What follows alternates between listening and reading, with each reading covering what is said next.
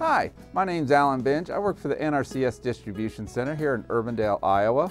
What is the Distribution Center? Well, we're part of the USDA. We work for the Natural Resource Conservation Service and we handle free publications and forms and we ship throughout the world.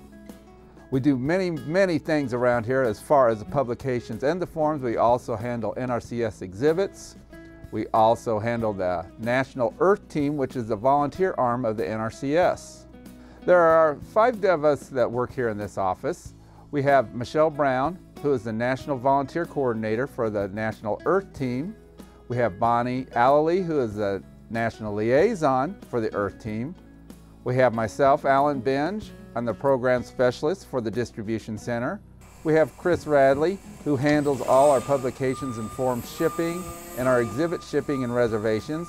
And we have Andy Bingham, who fills in everywhere and does everything. He is our go-to guy here in the distribution center. Now that you've seen the center and see a little bit of what we do, please contact us if you need NRCS publications or forms, or if you have a question about any of those, we'll be sure to help you as best we can.